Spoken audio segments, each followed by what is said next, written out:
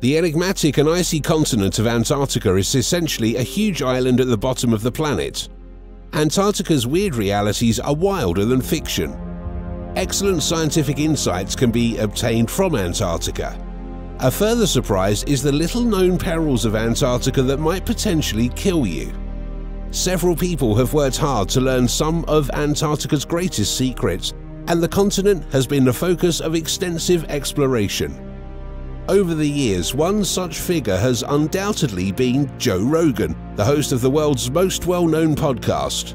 Many scientists and adventurers who have discussed some of the lesser-known secrets of this region have appeared on his podcast. What are the strangest and most startling facts about Antarctica that Joe Rogan has revealed? Let's find out.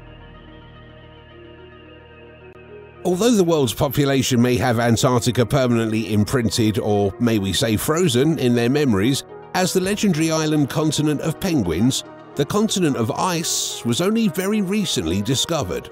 Throughout ancient times, people have conjured up the idea of Antarctica as a frictious location they dubbed Terra Australis, which is Latin for southern land but the first known human sighting of the continent was during a Russian voyage in 1820. A wide range of people, from sealers to geographers, were interested in the polar scenery. The first recorded human footstep on Antarctica was made in 1821 by American sealer John Davis, who travelled from his home in New Haven, Connecticut to Hughes Bay, Antarctica, and came ashore there. This was one of the major turning points in the gradual discovery of Antarctica. Another significant event occurred in 1899 when Karsten Borchgrevink and his crew sailed in the Southern Cross to Cape Adare to overwinter there for the first time ever as humans. The magnetic South Pole was attained by 1909 and the geographic South Pole by 1911. One may understandably assume that a trip to Antarctica would entail aimless roaming around the frozen landscape without much care, clad only in an insulated suit reminiscent of space exploration equipment. Yet if you don't take enough precautions to stay out of Antarctica's bad neighborhoods, you could lose your life by falling hundreds of feet while on level land. Huge crevices that are several hundred feet deep rip into the continent, many of which are invisible until you take a step into the chasm. A genuine hazard results when you combine glare with featureless ice. In Antarctica, where the deceptively featureless icy landscape can hide the catastrophic weakness in the terrain, the Earth actually could swallow you up. A crevice swallowed up an Antarctic research vehicle in 1965, killing all of the crew who were inside. On October 14th of that year, an expedition commanded by John Ross, Jeremy Bailey, David Wild, and John Wilson, who went in a Muskeg tractor, were getting close to the East Antarctic Halley Research Station when a crevice suddenly formed. The vehicle's cab was broken after a 100 foot drop. Ross was spared the tragic occurrence since he was not in the cab. The cab was crushed in the fall, but Bailey, who was seriously hurt, managed to stay alive long enough to shout to Ross, who let him know that Wild and Wilson were dead before he too passed away. More than 10 years have passed since Joe Rogan started his podcast. He and his guests have developed quite a few outlandish beliefs and disputes throughout that time. Because of this, you don't often see Joe really shocked, but in 2022 he experienced a startling revelation that left him speechless.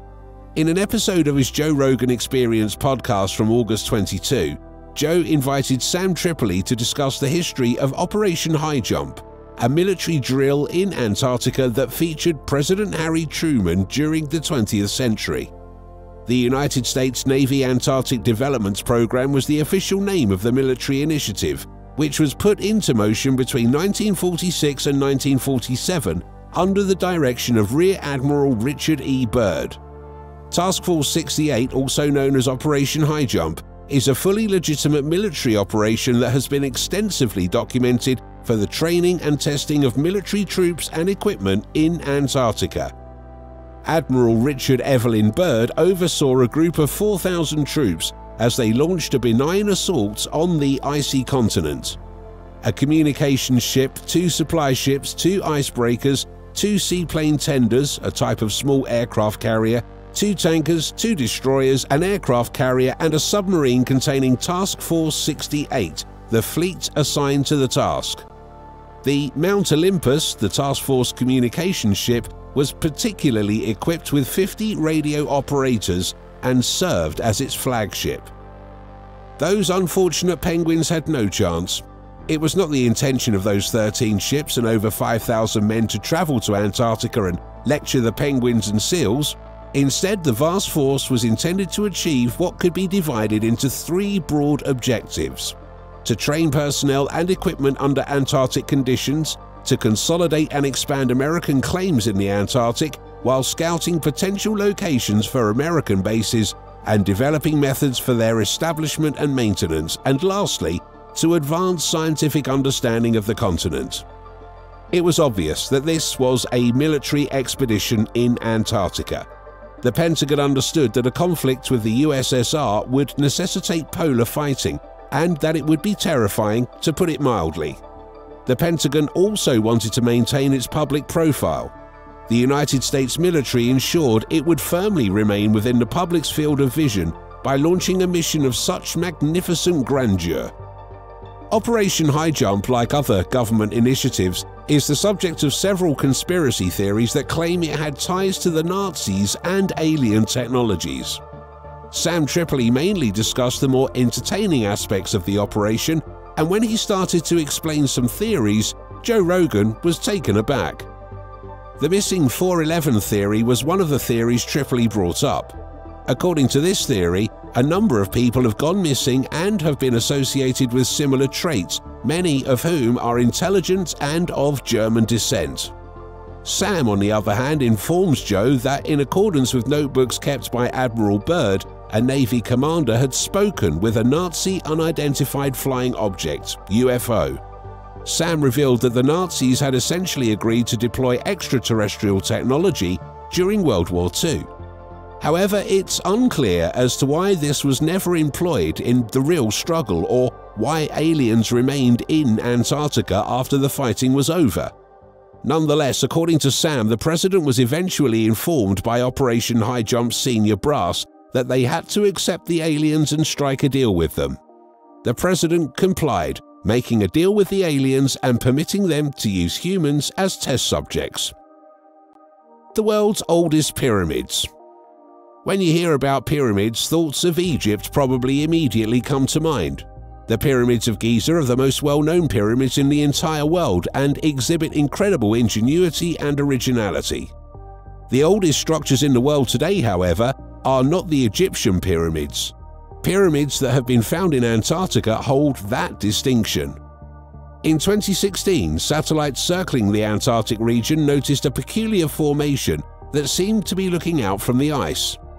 The existence of man-made pyramids in Antarctica, at the very least, serves to support the theory that people lived in this region before we knew anything about them. Some researchers even contend that the existence of these pyramids demonstrates the existence of a sophisticated human civilization in this area. But as of right now, it is impossible to collect much proof because that region is essentially unreachable. Although it seems unlikely that a civilization could have existed in such a harsh and inhospitable environment as Antarctica, a group of geologists from the German Alfred Wegener Institute for Arctic Marine Research visited Antarctica in 2017 and took core samples from the frozen sea floor there. They set out to determine what the climate of the continent would have been like in the past, and what they discovered was pretty intriguing.